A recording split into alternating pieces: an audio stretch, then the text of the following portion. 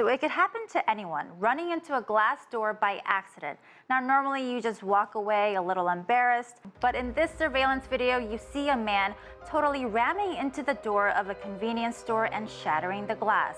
This happened in Dandong in Liaoning province. Now you see the man slowly getting up and leaving, but he didn't get far before he collapsed in the streets. Paramedics took him to the hospital where he was pronounced dead from blood loss. Doctors say the glass severed a main artery in his neck. People on social media are expressing sympathy, saying you never know when your life could end. Netizens also say that that door should have been made with stronger glass. Hmm. Well, our next trending story is about a man who took love at first sight way too far. So a 24-year-old man named Swen says he saw the girl of his dreams at a bookstore in Beijing back in September. Now he doesn't know her name, but says she was wearing a yellow sweater and they made long eye contact before he lost sight of her. So he returned to the bookstore for the next 50 days to try to see her again and even quit his job for the search, but no luck.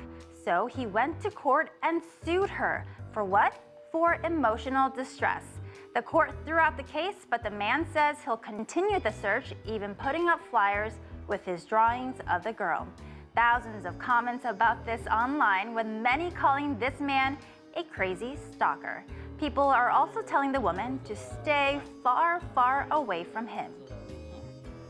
Well, confusing the gas pedal with the brake pedal can get a lot of drivers in trouble, like this one in Baotou City in Inner Mongolia. This car plunged into icy waters after the mix-up with the pedals. Two people in the car were rescued by passersby, but the car couldn't be pulled out so quickly. It submerged and froze in the water.